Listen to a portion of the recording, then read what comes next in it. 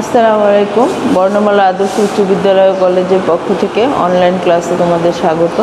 আজকে আমি তোমাদের পড়াবো কৃষি শিক্ষা প্রথম পত্রের তৃতীয় অধ্যায়, দ্বিতীয় পরিচ্ছেদ। গতকালকে পড়াইছিলাম অনুজীব সার উৎপাদন কৌশল। সেখানে তোমাদেরকে অনুজীব সার কী এবং রাইজোবিয়াম অনুজীব সার কীভাবে উৎপাদন করা যায় সেটা পড়ানো হয়েছিল পড়ানোর চেষ্টা করছিলাম। আজকে তোমাদের পড়াবো বা বোঝানোর চেষ্টা করব কীভাবে অ্যাজোলা এবং ট্রাইকোডার্মা উৎপাদন করা যায় বা উৎপাদন কৌশল। অ্যাজোলা অ্যাজোলা একটি ভাসমান জলজ পানা যা পৃথিবীর সব উষ্ণ অঞ্চলে পাওয়া যায়। আমাদের দেশে ক্ষুদিপানা, টোপাপানা, কুটিপানা ইত্যাদি নামে এটা পরিচিত। এরা ডোবা, নালা, ধানের জমিতে ভাসমান অবস্থায় থাকে অবস্থান করে। অ্যাজোলা পাতার গহ্বরে অ্যানাবিনা অ্যাজোলি নামক নীলাভ সবুজ শেওলার একটা প্রজাতি বাস করে। অ্যাজ, অ্যাজোলার পাতার গহ্বরের ভিতরে বা পাতার যে একটা গর্ত আছে তার ভিতরে এই নীলাভ সবুজ শৈবাল নামক এক ধরনের শ্যাওলা প্রজাতি এর ভিতরে বাস করে যা বায়ুমণ্ডল থেকে মুক্ত নাইট্রোজেন নেয়। আমি গতদিন বলছিলাম যে বায়ুমণ্ডলে প্রচুর পরিমাণে আটাত্তর পার্সেন্ট প্রায় নাইট্রোজেন আছে এই নাইট্রোজেন কিন্তু অব্যবহৃত অবস্থায় থেকে যায়। এরাই এই অণুজীব আহ, সার যারা এদের কাজই হচ্ছে এই অব্যবহৃত নাইট্রোজেন যেগুলো গাছ ব্যবহার করতে পারে না বায়ুমণ্ডলে ভেসে বেড়াচ্ছে এই নাইট্রোজেনকে এরা মুক্ত নাইট্রোজেনকে এরা গ্রহণ করে এবং পাতার গহ্বরে জমা করে নাইট্রো এই এই- পরবর্তীতে এই নাইট্রোজেন মাটিতে যোগ করে। এই আজলা মাটিতে চাষ চাষ দিয়ে মিশানো হলে পরে পাতার গহ্বরের ভিতরে যে নাইট্রোজেনটা থাকে সেই নাইট্রোজেনটা মাটিতে আহ, জৈবীভূত হয়ে যায় বা যোগ হয়ে যায়। পানিতে ভাসমান অবস্থায় এরা বিশ থেকে ত্রিশ ডিগ্রি সেন্টিগ্রেড তাপমাত্রায় অঙ্গজ বংশবৃদ্ধা, বংশবৃদ্ধি ভালো করে বীজতলা বা নার্সারিতে আমরা কীভাবে অ্যাজোলা তৈরি করব। প্রথমে আমরা এমন একটা জমি নির্বাচন করব, যেটা ধানের জমির মতো, যেটা নির্দিষ্ট আয়তনের যেটা আমি এখানে দেখো দিচ্ছি যে ষোলো সেন্টিমিটার বাই ষোলো মিটার বা বিশ মিটার আয়তনের একটা বড় একটা জমি নির্ধারণ করব। নিয়ে এটাকে ধান উৎপাদন করার জন্য যেভাবে চাষ, মই, সেচ দিতে হয়, আগাছা পরিষ্কার করতে হয় সব কিছু করব এখানে। এই জায়গাটার ভিতরে আমরা ভালো করে চাষ দিব, বা মই দিব, তারপরে এর ভিতরে যে আগাছাগুলো থাকবে, সেগুলো সব আমরা পরিষ্কার করে নেব। পরিষ্কার করে এটার ভিতরে আমরা পানি হালকা পানি সেচ দিব। পরবর্তীতে আমরা কিছু পানি সেচ দিব। প্রথমে আমরা এই, এই- জায়গাটাকে ধানের জমির মতো তৈরি করে নিব। তারপর এটাকে আমরা ভাগ করব। এখানে বড় দুটা ভাগ আমরা দেখতে পাচ্ছি। একশো ষাট সেন্টিমিটার একশো ষাট মিটার স্কোয়ার আর এটাও কিন্তু একশো ষাট মিটার স্কোয়ার এটাকে আমরা আবার, আর প্রথমে ছোট ছোট ভাগ করব। বিশ মিটার স্কোয়ার দুইটা চল্লিশ মিটার স্কোয়ার আশি মিটার স্কোয়ার একশো ষাট মিটার স্কোয়ার এরকম খণ্ডে বিভক্ত করব। বিভক্ত করে আমাদের কাজ যেটা হবে সেটা হচ্ছে বিশ মিটার স্কোয়ার যেটা, এই মিটার স্কোয়ার এই এই ছোট্ট জায়গা দুইটাকে আমরা কি করব? ভালো করে চাষ এবং মই দিয়ে এটার ভিতরে পাঁচ থেকে ছয় সেন্টিমিটার পানি অবস্থান করাবো, পানি রাখব। পানি রাখা, তার আগে আমরা যেটা করব, অ্যাজোলার বীজ আমরা যেটা সংগ্রহ করে রাখছি, সেই অ্যাজোলার বীজ পয়েন্ট শূন্য দশমিক শূন্য দশমিক শূন্য দুই ভাগ ফুরাডান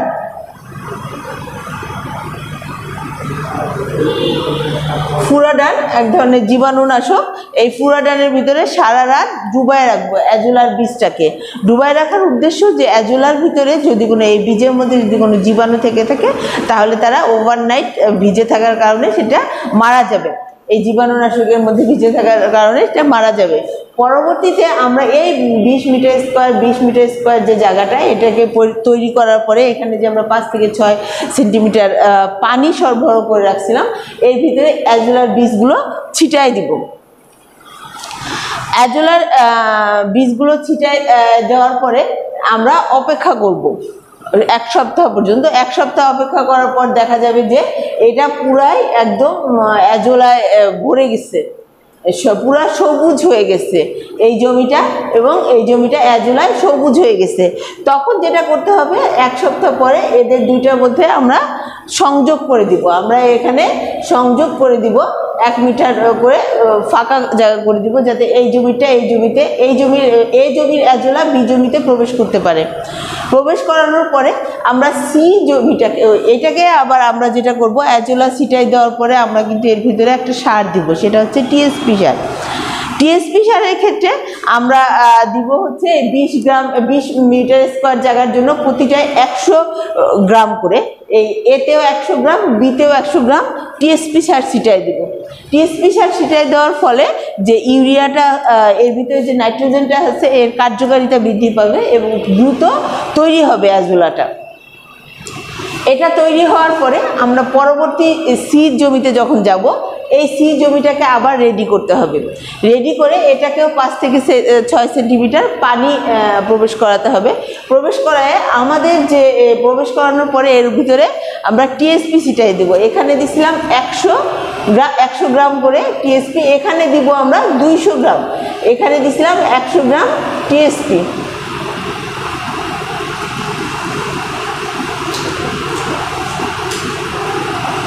এখানে আমরা দিব দুইশো গ্রাম টিএসপি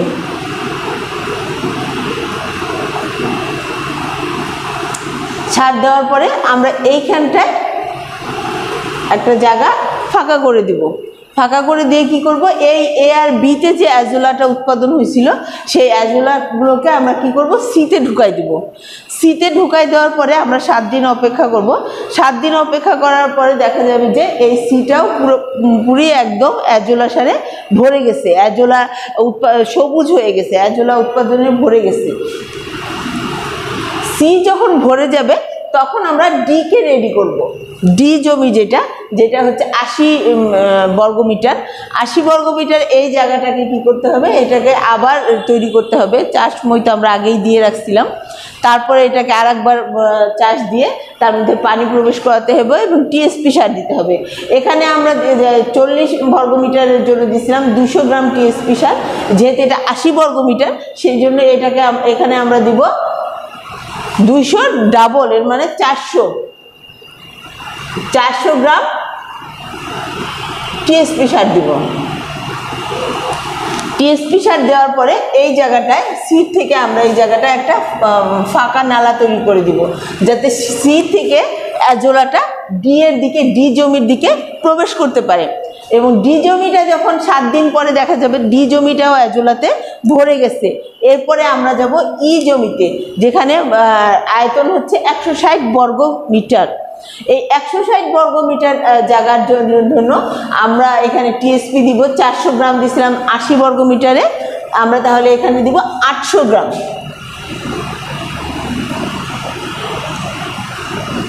আটশো গ্রাম টিএসপি সার দিব, আর এখানে পানি দিব পাঁচ ছয় পাঁচ থেকে ছয় সেন্টিমিটার। উচ্চতায় পানি থাকবে, পানির লেভেল থাকবে। তারপরে আমরা এখানে আর একটা ডালা তৈরি করে দিব, যাতে এই ডি থেকে অ্যাজোলাটা ইতে চলে আসতে পারে। অ্যাজোলা বীজগুলো ইতে চলে আসতে পারে। ইতে চলে আসার পরে এটাও আমরা সাত দিন অপেক্ষা করব। সাত দিন অপেক্ষা করার পরে দেখা যাবে যে পুরো জমিটাই অ্যাজোলাতে ভরে গেছে। তো এভাবে করে এরপরে আমি যেখানে ধানের জমিতে দিতে চাই বা যে- কোনো জমিতে আমি দিতে চাই, সেখানে আমরা কিন্তু এই অ্যাজোলাটা প্রয়োগ করতে পারি। অ্যাজোলা তৈরি হয়ে গেল। এই অ্যাজোলা মূলত সব জমিতে, সব ধরনের ফসলের জমিতেই হয়, যে সমস্ত জমিতে পানি দরকার হয়। তবে ধানের জমিতে যেহেতু স্ট্যান্ডিং ওয়াটার বা দাঁড়ানো পানি থাকে, তবে ধানের জমিতে এটা সবচেয়ে বেশি কার্যকরী হয়ে থাকে। তো ধানের জমিতে আমরা যখন অ্যাজোলা সার প্রয়োগ করব বা অ্যাজোলা সার তৈরি করব, আমরা প্রয়োগও করতে পারি, এখান থেকে নিয়ে আবার আমরা তৈরিও করতে পারি। ধানের জমিতে তৈরি করার ক্ষেত্রে, সেক্ষেত্রে ধানের জমি তৈরি করার আট থেকে এগারো থেকে পনেরো দিন আগে থেকেই জমিটাকে, জমিটাতে অ্যাজোলা সার তৈরি করে নিতে হবে। পনেরো দিন আগে থেকে প্রিপারেশন করতে হবে। যেমন আমি এখানে বললাম যে আমরা এখানে জমি তৈরি করছিলাম, সার দিছিলাম টিএসপি সার দিছিলাম। সেই হারে টিএসপি সার দিয়ে অ্যাজোলা বীজ দিয়ে জমিটাকে তৈরি করে তারপরে এখানে ধানের চারা রোপণ করতে হবে। তাহলে কিন্তু অ্যাজোলা সার ধানের জমিতে কাজ কার্যকরী হবে, ধান ফসল উৎপাদনে কার্যকরী হবে। তো যাই হোক, এই হলো অ্যাজোলা উৎপাদন কৌশল। এরপরে আমরা আসি ট্রাইকোডার্মা ট্রাইকোডার্মা হচ্ছে এক ধরনের মৃতজীবী ছত্রাক যা প্রায় সব ধরনের মাটিতে এবং অন্যান্য বিকল্প আবাস স্থানে আহ, আবাস আবাসে অবস্থান করে। ট্রাইকোডার্মা হচ্ছে এক ধরনের মৃতজীবী ছত্রাক। এরা যে কোনো ধরনের স্যাঁতস্যাঁতে জায়গায় স্যাঁতস্যাঁতে মাটিতে এরা অবস্থান করে বা যে কোনো বিকল্প পচা ময়লা আবর্জনার মধ্যে এরা অবস্থান করে। উদ্ভিদের শিকড়স্থ মাটি পচা আবর্জনা কম্পোস্ট ইত্যাদিতে ট্যাগোডার্মা অধিক হারে পাওয়া যায়। মাটিবাহিত রোগ দমনের জন্য এরা অত্যন্ত কার্যকর। মাটিতে বসবাসকারী বিভিন্ন উদ্ভিদের বিভিন্ন প্রকার ক্ষতিকর জীবাণু দমনে যেমন ব্যাকটেরিয়া, ফাঙ্গাস, নেমাটোড, বা মাটিতে যে সমস্ত ক্ষতিকর জীবাণু থাকে, যেমন ব্যাকটেরিয়া নেমাটোড ফাঙ্গাস, এই ধরনের ক্ষতিকার জীবাণুকে ধ্বংস করে। এই জন্য ট্রাইকোডার্মাকে কিন্তু ডক্টরস ফাঙ্গাস বলা হয়ে থাকে। ট্রাইকোডার্মা কিন্তু এক ধরনের ফাঙ্গাস ফাঙ্গাস মানে হচ্ছে ছত্রাক। এটাকে আমরা আবার খারাপভাবে যেন না নেই। ফাঙ্গাস সব ধরনের ছত্রাক বা সব ধরনের ফাঙ্গাসই কিন্তু খারাপ না। যেমন আমরা কিন্তু মাশরুম খাই, মাশরুম এক ধরনের ছত্রাক। তো ট্রাই সেটা আমরা খাই। আর ট্রাইকোডার্মা হচ্ছে আমরা সার হিসেবে ব্যবহার করি। ট্রাইকো কম্পোস্ট সার হিসেবে ব্যবহার করা হয়ে থাকে। ট্রাইকো, ট্রাইকোডার্মা যেহেতু মাটিতে অবস্থিত বিভিন্ন ধরনের ক্ষতিকর জীবাণু ধ্বংস করে যেমন ব্যাকটেরিয়া, নেমাটোড ছত্রাক, অন্য অন্য খারাপ ছত্রাক সেই জন্য এদের- এদেরকে বলা হয় ডক্টর ফাঙ্গাস বাইরের দিক থেকে এরা দেখতে অনেকটা সবুজ, এদের দেহ দেহ মাইসিলিয়াম দ্বারা গঠিত এবং এরা প্রচুর পরিমাণে কনেডিয়া তৈরি করে। এখন আমি তোম- তোমাদের অনেকেই প্রশ্ন রাখতে পারে মাইসিলিয়াম কি? এই যে যে, দেখো সুতার মতো যে জায়গাগুলো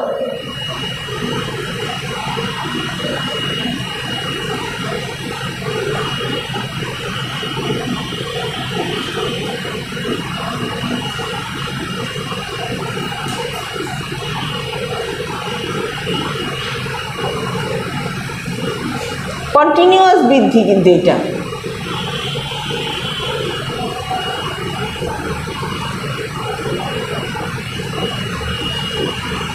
এটা হচ্ছে কনিডিয়া এটাকে যদি আমরা ধরি, এটা হচ্ছে কনিডিয়া আর এটা হচ্ছে মাইসিলিয়াম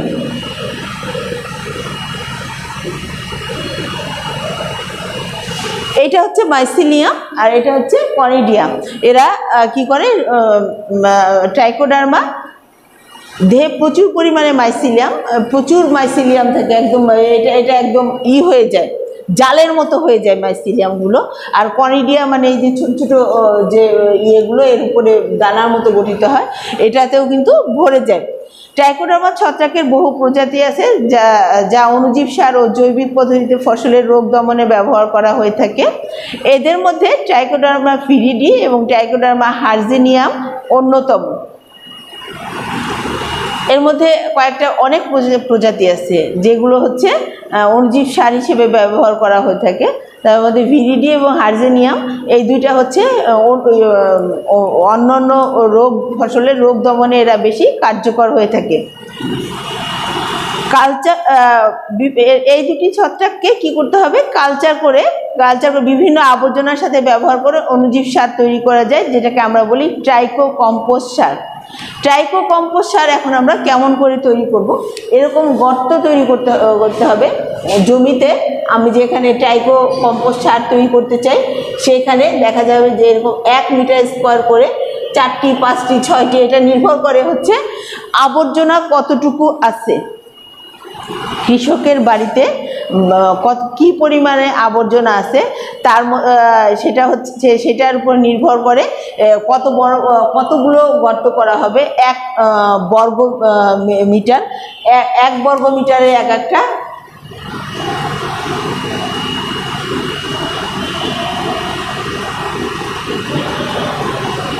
এক বর্গ মিটারের এক একটা গর্ত তৈরি করতে হবে। গর্ত করে এর ভিতরে আমরা প্রথমে কম্পোস্ট সার দিব মানে আবর্জনা পচা দিব।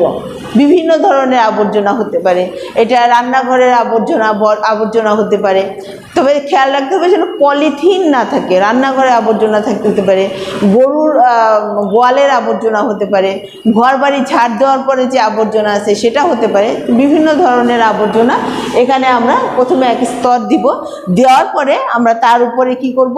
এক, একটা ট্রাইকোডার্মা সাসপেনশন তৈরি করা হবে। ট্রাইকোডার্মার বীজ দিয়ে বীজের সাথে পানি মিশিয়ে একটা সলিউশন বা দ্রবণ তৈরি করা করতে হবে। সেটাকে একশো পঞ্চাশ মিলিলিটার এখানে ছিটাই দিতে হবে। এক স্তর। ট্রাইকোডার্মা সাসপেনশন দিব। এই ছোট্ট জায়গা আমরা ধরলাম, এটা হচ্ছে ট্রাইকোডার্মা দিব।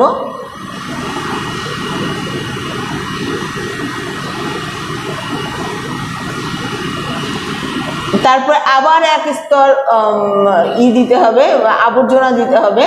তারপরে আর এক স্তর, এরকম করে আমরা প্রায় তিন স্তরের মতো আবর্জনা দিব। আবর্জনা দিব তিন স্তরের মতো এবং প্রতিটা স্তর দেওয়ার পরে আমরা ট্রাইকোডার্মা সাসপেনশন বা সলিউশন বা ট্রাইকোডার্মা দ্রবণ, যেটা পানিতে ট্রাইকোডার্মার বীজ দিয়ে পানি দিয়ে মিলানো, তৈরি করা, সেটা দেওয়ার পরে এটাকে আমরা সর্বশেষ আবার আবর্জনা দিয়ে এটাকে ভালো করে চেপে এটাকে ঢেকে দিব। পলিথিন দিয়ে ভালো করে ঢেকে দিতে হবে যাতে এর মধ্যে কোনো পানি প্রবেশ করতে না পারে। খেয়াল রাখতে হবে এর ভিতরে তাপমাত্রা যেন পঁয়ত্রিশ ডিগ্রি সেন্টিগ্রেডের বেশি না হয়। পঁয়ত্রিশ ডিগ্রি সেন্টিগ্রেডের বেশি হলে যেটা হবে যে এর ভিতরে যে ট্রাইকোডার্মাগুলো আমরা দিচ্ছিলাম যেটা অনুজীব, সেটা কিন্তু মারা যাবে। এরকম করে আমরা প্রতিটা গর্ত পূরণ করব।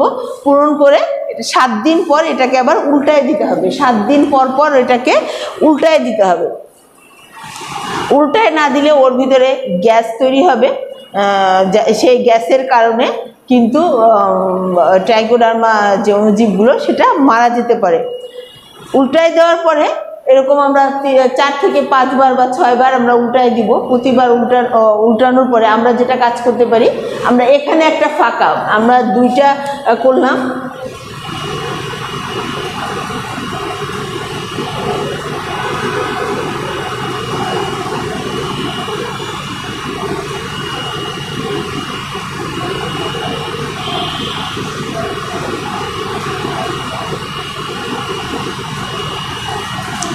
আমরা যেটা করতে পারি, আমরা উল্টায় এই যে যে ফাঁকাটা থাকল, আমরা প্রথমে এটা এটা উল্টে এটার ভিতরে দিব।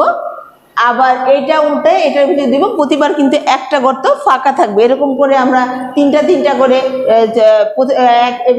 এক লাইনে তিনটা, আর এক লাইনে তিনটা, এরকম করে কিন্তু ট্রাইকোডার্মা তৈরি করার জন্য ট্রাইকো কম্পোস্ট সার তৈরি করার জন্য গর্ত তৈরি করতে পারি, এক বর্গ মিটার স্কোয়ার করে। এক বর্গ মিটার করে। তৈরি করে এর ভিতরে আমরা সাত দিন পর এটাকে উল্টায় এর ভিতরে দিব। এইটা তখন ফাঁকা হয়ে যাবে। এটা ফাঁকা হয়ে গেলে এইটা আমরা যদি এ ধরি, আমরা তিনটা গর্ত এখানে এ, বি সি নির্ধারণ করি সিটাকে আমরা ফাঁকা রাখছি।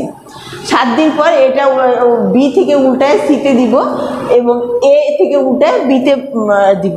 এভাবে আবার এটাকে আমরা ঢেকে রাখব সাত দিন। তারপরে সাত দিন পরে আবার উল্টা দিকে যাবে। এখান থেকে, এখানে যে বি সি থেকে বিতে যাবে বিটা এতে যাবে। এভাবে করে আমরা পাঁচ থেকে ছয়বার উল্টায় দিয়ে দিব। পাঁচ থেকে ছয়বার উল্টায় দেওয়ার পরে দেখা যাবে তারপরের সপ্তাহে দেখা যাবে যে এটা খুব ভালোভাবে কম্পোস্ট সার তৈরি হয়ে গেছে। ট্রাই যেই কম্পোস্ট সারটা তৈরি হয়, সেটার নাম হচ্ছে ট্রাইকো কম্পোস্ট সার। আমরা যদি নর্মালি কম্পোস্ট সার তৈরি করতে যাই, যেখানে ট্রাইকোডার্মা সলিউশন দিব না ট্রাইকোডার্মা সলিউশন ছাড়া সেখানে পাঁচ থেকে ছয় মাস প্রয়োজন হয় এই আবর্জনা পচাতে। কিন্তু আমরা যদি ট্রাইকোডার্মা দিয়ে এটা পচাতে চাই দ্রুত তৈরি করতে চাই সার, তাহলে পাঁচ থেকে ছয় সপ্তাহ। পাঁচ থেকে ছয় সপ্তাহ দ্যাট মিনস আমাদের প্রায় দেড় মাসের মধ্যে কিন্তু ট্রাইকো কম্পোস্ট সার তৈরি হয়ে যাচ্ছে। কিন্তু ওদিকে যদি আমরা ট্রাইকোডার্মা ছাড়া তৈরি করতে চাই, তাহলে কিন্তু আমাদের পাঁচ থেকে ছয় মাস সময়ের প্রয়োজন হয়। তো শিক্ষার্থীরা, আজকে আমরা তোমাদেরকে শেখালাম অ্যাজোলা অণুজীব সার তৈরি পদ্ধতি এবং ট্রাইকো কম্পোস্ট সার তৈরি পদ্ধতি। তোমরা মনোযোগ দিয়ে ক্লাসটা শুনবে এবং বই দেখে এটা পড়ার চেষ্টা করবে। ক্লাসের সাথে, বইয়ের সাথে একদম হুবহু মিল পাবে তোমাদের যে কোনো রাইটারের বই থাকুক না কেন সাথে, সব রাইটারের বই একই ধরনভাবে বিশ্লেষণ করা আছে। ধন্যবাদ সবাইকে। আসসালামু আলাইকুম।